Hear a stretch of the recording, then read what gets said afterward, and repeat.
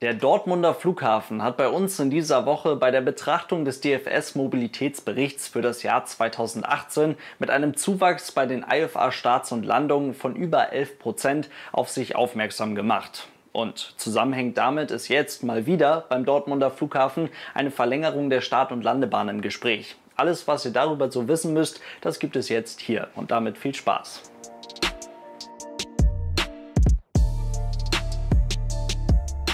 Und damit hallo und ganz herzlich willkommen zu einem neuen Video. Ich hoffe, es geht euch gut. Fangen wir einfach mal an mit den wichtigen Basisinformationen zu diesem Flughafen. Der Dortmunder Airport ist in Nordrhein-Westfalen der drittgrößte Verkehrsflughafen und hier in Deutschland nach Nürnberg auf Platz Nummer 11. Bekannt ist der Flughafen vor allem für Billigfluggesellschaften, aber auch für seine Kompaktheit und die damit verbundene Übersichtlichkeit und tatsächlich auch für Pünktlichkeit. Der Dortmunder Flughafen war nämlich im Jahr 2018 der pünktlichste Flughafen hier in Deutschland und tatsächlich unter den Top 10 pünktlichsten Flughäfen weltweit. Mit den eben angesprochenen über 11% zusätzlichen Starts und Landungen und den damit verbundenen fast 15% gestiegenen Passagierzahlen ist der Dortmunder Flughafen tatsächlich einer der am stärksten wachsenden deutschen Flughäfen des Jahres 2018. Und in den ersten Monaten des Jahres 2019 ging das tatsächlich auch genauso weiter. Im ersten Quartal sogar im Vergleich zum Vorjahreszeitraum mit einem Passagierwachstum von etwa 20%.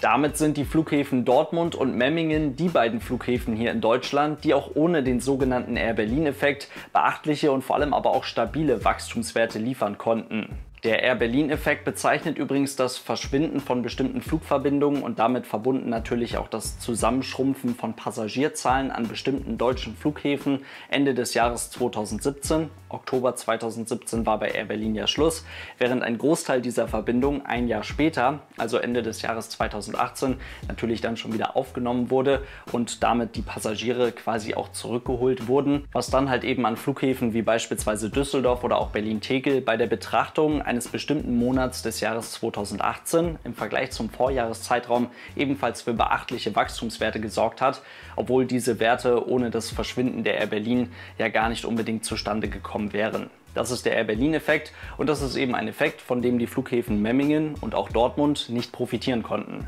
Klingt doch soweit eigentlich erst einmal ganz sympathisch, oder nicht? Das große Problem am Dortmunder Flughafen ist allerdings, dass dieser Airport seit über 20 Jahren keinen Gewinn mehr erwirtschaften konnte. Mit anderen Worten, man versucht überall Geld einzusparen, die Passagierzahlen steigen und trotzdem steht am Ende des Jahres unterm Strich immer ein dickes Minus, welches dann von den Gesellschaftern des Flughafens aufgefangen werden muss. Mit anderen Worten, der Verlust, der an dieser Stelle entsteht, und zwar immer und immer wieder, der muss auch immer und immer wieder von der Stadt Dortmund aufgefangen werden. In diesem Jahr sollen am Dortmunder Flughafen erstmals über 2,5 Millionen Passagiere abgefertigt werden und damit natürlich auch die Einnahmen des Flughafens immer weiter gesteigert werden, während man die Ausgaben immer weiter drückt, was dann 2024 spätestens dafür sorgen soll, beim Überschreiten, beim möglichen Überschreiten der 3 Millionen abgefertigten Passagiere, dass man das Vorzeichen am Ende des Jahres endlich von Minus auf Plus drehen kann. Der Flughafen im Osten Dortmunds verfügt zum aktuellen Zeitpunkt über eine einzelne Start- und Landebahn. Die sieht folgendermaßen aus. Asphaltiert ist dort ein 2000 Meter langer und 45 Meter breiter Streifen. Und der ist ausgerichtet in südwestliche Richtung als Landebahn oder Startbahn 2.4 oder dann in Gegenrichtung in nordöstliche Richtung als 06. Südlich der Bahn liegt dann ein auf ganzer Länge parallel verlaufender Taxiway mit vier Verbindungen zur Start- und Landebahn. Daran hängt natürlich dann auch das Vorfeld und das Flughafengebäude. Am Platz selbst steht dann das Dortmund NDB und das Wicke de VOA, zwei Funknavigationsanlagen, die auf den entsprechenden Pisten, auf der 06 und auf der 24, dann auch eben zwei Nicht-Präzisionsanflüge ermöglichen, also einen VOA und einen NDB Approach. Viel besser ist allerdings, dass der Dortmunder Flughafen in beide Richtungen ausgestattet ist mit einem Instrumentenlandesystem, also mit einem ILS, also mit einem Präzisionsanflug bis Cat 2. Damit ermöglicht man am Flughafen Dortmund auch eine automatische Landung von entsprechenden Verkehrsflugzeugen und das in beide Richtungen. Dahingehend ist dieser regionale Flughafen also schon mal gar nicht so schlecht ausgestattet. Ja, die Schwachstelle des Airports ist also auf jeden Fall die Landebahn. Die hat zwar mit 45 Metern Breite eine durchaus gut brauchbare Standardbreite, die Länge der Bahn mit offiziell 2000 Metern kann dann aber unter bestimmten Bedingungen durch einen entsprechenden Minuspunkt ziemlich kritisch werden. Und zwar verfügt der Flughafen Dortmund in beiden Richtungen, auf der 06 und auf der 24, über eine sogenannte versetzte Schwelle. Das bedeutet, trotz der Tatsache, dass hier 2000 Meter feinster Asphalt irgendwo in der Landschaft rumliegt, bleibt den landenden Flugzeugen nur 1700 Meter Landebahn zur Verfügung. Die Schwelle ist auf beiden Seiten um 300 Meter nach hinten versetzt. Jetzt muss man an der Stelle aber so ein bisschen aufpassen, denn der von den versetzten Landebahnschwellen eingefasste Teil der Bahn, das ist nicht der tatsächlich nutzbare Teil der Runway. So stand das ganz gerne mal in einigen Artikeln im Internet und das ist natürlich Quatsch. Der Asphalt vor der Landebahnschwelle, vor der versetzten Schwelle ist tatsächlich genauso gut wie der Asphalt hinter der Schwelle, mit einer kleinen Einschränkung, aber dazu gleich nochmal mehr. Das bedeutet, dass Flugzeuge beim Start am Dortmunder Flughafen immer 2000 Meter zur Verfügung haben, wenn sie am Anfang der Bahn starten. Das ist nicht sonderlich viel, gerade wenn dann irgendwann Nässe oder vielleicht sogar Schnee oder vielleicht sogar Eis hinzukommt, sorgen gesetzliche Vorgaben bei der Berechnung der Startdistanz, gerade bei schwereren Flugzeugen, gerne mal dafür, dass 2000 Meter ganz einfach unbrauchbar sind. Aber gerade in der Größenordnung Boeing 737 und Airbus A320 Familie geht das mit 2000 verfügbaren Metern tatsächlich ziemlich lange ziemlich gut. Und eine versetzte Schwelle würde an dieser Tatsache, an den 2000 verfügbaren Metern, tatsächlich auch genau gar nichts ändern. Aus dem Grund kann diese 2000 Meter lange Bahn ja auch an beiden Enden eine um 300 Meter versetzte Landebahnschwelle haben. Das heißt, der von den beiden Schwellen eingefasste Bereich ist nur noch 1400 Meter lang und trotzdem stehen den landenden Flugzeugen in beide Richtungen 1700 Meter zur Verfügung. Benutzen kann man diese mit Pfeilen markierte Fläche bis zur versetzten Schwelle also auf jeden Fall. Aufsetzen dürfen Flugzeuge hier aber nicht und das ist die eben angesprochene Einschränkung und zwar muss der Bereich der Landebahn, in welchem Flugzeuge dann wirklich aufsetzen sollen, der muss besonders belastbar sein. Da gibt es bestimmte Vorschriften beim Bau einer solchen Runway und bei einer dauerhaft versetzten Schwelle, wie es ja hier am Dortmunder Flughafen der Fall ist, da ist der Bereich vor der versetzten Schwelle meist nicht für diese Belastung ausgelegt. Das heißt ganz ohne Bauarbeiten, nur mal eben so durch Umpinseln der Schwelle lässt sich diese Maßnahme am Dortmunder Flughafen auch nicht durchführen. Eine versetzte Schwelle kann vielerlei Gründe haben. Meist sind es ganz einfach ziemlich offensichtliche Hindernisse im Anflugweg und damit die mit einem entsprechenden Mindestabstand überflogen werden können, muss entweder der Anflugweg selbst steiler werden oder der Punkt, an dem die Flugzeuge aufsetzen, muss nach hinten verlegt werden. Und das passiert eben bei dieser versetzten Schwelle. In Dortmund allerdings, ohne es jetzt wirklich im Detail zu wissen, ich habe mir extra die Genehmigung des Landes Nordrhein-Westfalens für den Dortmunder Flughafen durchgelesen. Das gibt es alles im Internet und da habe ich leider keine wirklich interessanten Informationen zu dieser versetzten Schwelle bekommen. In Dortmund scheint es keine wirklich offensichtlichen Hindernisse zu geben, die hier gegen eine Versetzung der Landebahnschwelle zur Verlängerung der Landebahn sprechen. Aber wie gesagt, das weiß ich nicht genau im Detail. Es geht halt einfach darum, dass der Flughafen Dortmund die Hindernisfreiheit gewährleisten muss.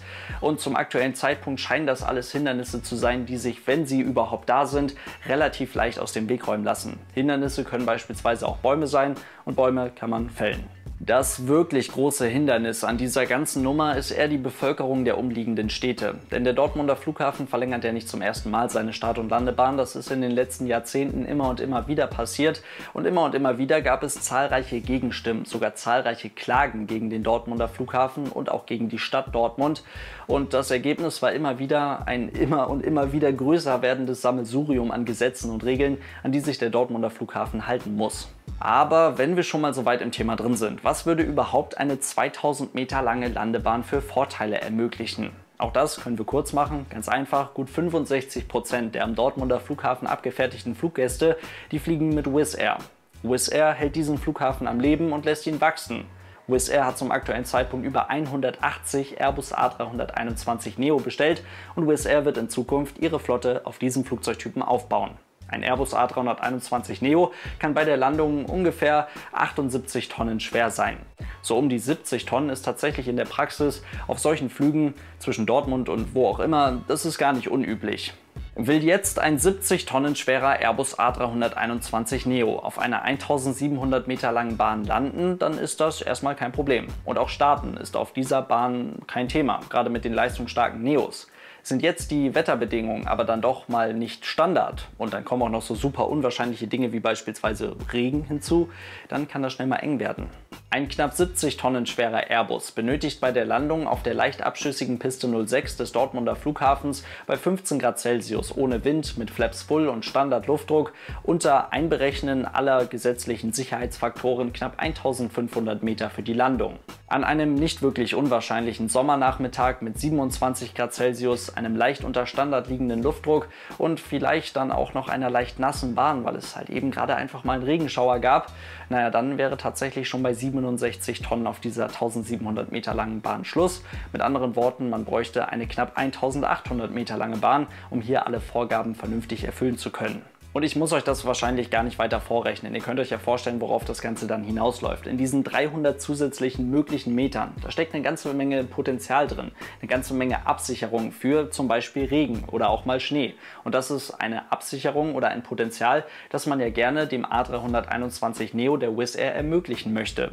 Am Ende des Tages ist das, was hier passiert, jedoch eine Entscheidung, die, wie so oft, wenn es um die Erweiterung von Flughäfen geht, sehr, sehr lange dauern wird. Denn ein Flugzeug, das 300 Meter vorher aufsetzt, als es das sonst getan hat, das ist den ganzen Anflug über, Standardanflug 3 Grad Gleitslope, ist den ganzen Anflug über 50 Fuß tiefer als sonst. Das sind 15 Meter. 15 Meter, das deutlich leisere Flugzeug, das diesen Weg dann eventuell nehmen könnte, jetzt mal außen vor gelassen. 15 Meter, das ist ein Unterschied. Das ist kein großer Unterschied, aber das sehen einige Bewohner sicherlich ganz anders als ich. Und so entsteht aus dieser möglichen Versetzung der Landebahnschwelle jetzt eine Diskussion über Effizienz, Lärmschutz und Sinnhaftigkeit des Dortmunder Flughafens. Und da bin ich doch ganz einfach mal sehr gespannt auf eure Meinung zu diesem Thema. Und dann soll es das heute gewesen sein. Vielen lieben Dank fürs Zuschauen. Ich hoffe, dass ein paar interessante Informationen für euch mit dabei waren. Vielleicht ein paar Informationen, die ihr in dem einen oder anderen kurzen Beitrag im Internet nicht dabei hattet. Vielleicht war es auch wieder ein bisschen viel um den heißen Brei herum geredet. Lasst mir gerne ein bisschen Feedback in den Kommentaren da. Freue ich mich sehr drauf. Und dann sehen wir uns hoffentlich morgen bei einem neuen Video wieder. Bis dahin, lasst es euch gut gehen und tschüss.